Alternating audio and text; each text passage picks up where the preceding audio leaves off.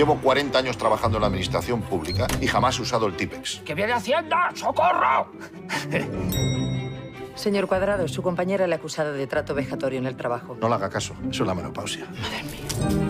¿Que te han suspendido? Para dar ejemplo, dice. Pero si comparado con otros, soy hasta feminista.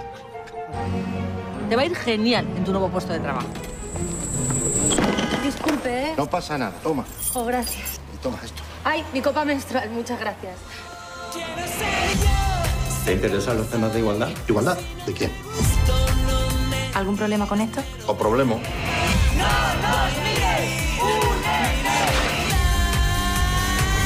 ¿Y usted exactamente a qué se dedica? TikToker, el Kitty pasa.